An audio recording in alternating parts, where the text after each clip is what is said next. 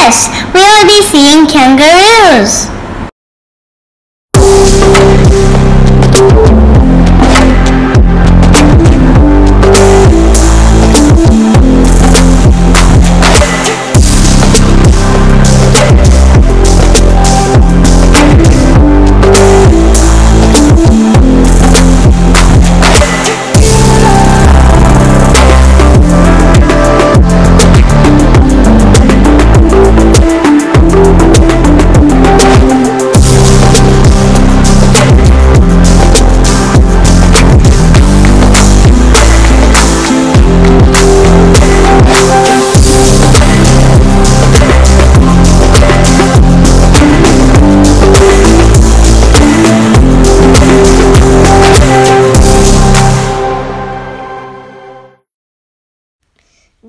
Cottage where we stayed.